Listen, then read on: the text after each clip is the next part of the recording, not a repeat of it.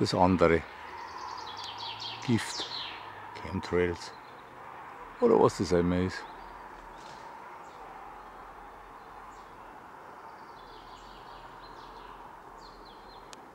Und das eine, dass diese Chemtrails einfach auflöst. Die Antennen Gottes, die er durch Mutter Erde in den Himmel schickt.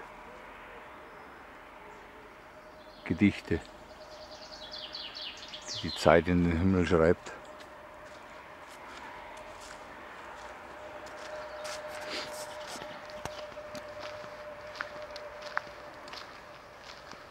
Was ist wirklich nur interessant?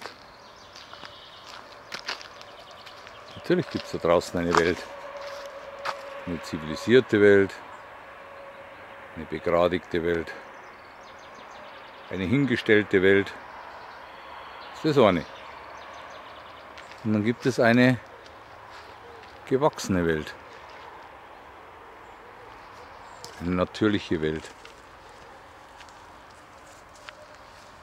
Eine, obwohl manchmal kaputt aussehend, sehr harmonische und heile Welt.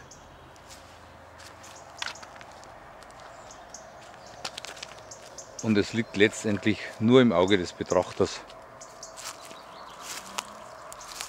ob er einen Baum als krank oder als rankend anschauen will. Also, rank oder krank liegt im Auge des Betrachters. Ich wähle krank.